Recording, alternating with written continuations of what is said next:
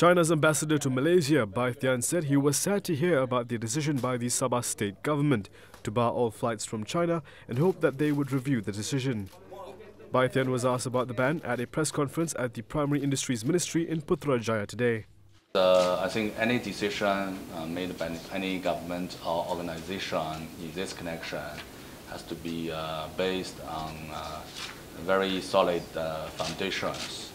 And so I hope this, uh, uh, in a difficult situation like this, uh, the normal flow of people, and including uh, even the trade, commercial activities, should not be affected uh, between China and Malaysia, including Sabah, of course. Yesterday, Sabah Deputy Chief Minister Christina Liew had announced that the state would temporarily suspend all scheduled and chartered flights from China to Sabah with immediate effect.